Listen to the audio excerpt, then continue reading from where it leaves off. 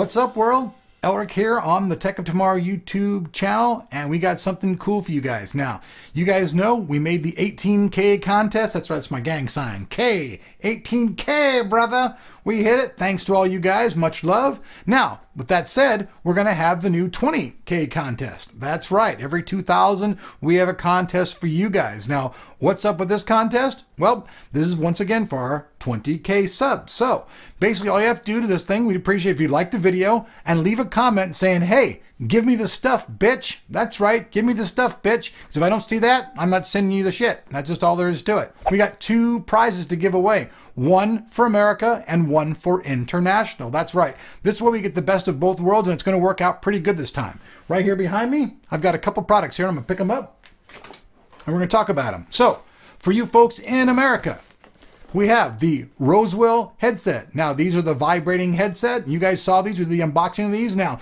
not only are these a headset, if you're feeling kind of tired and you don't want to please your girl, you just let her use those and she will vibrate her way to pleasure with these headphones. That's right, they're a self pleasuring device.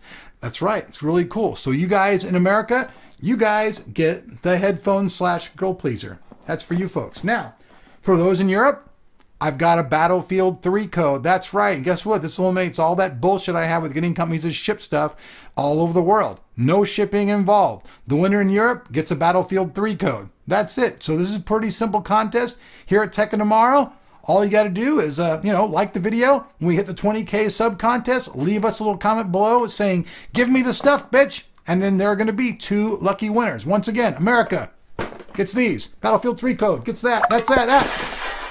See the fuck later.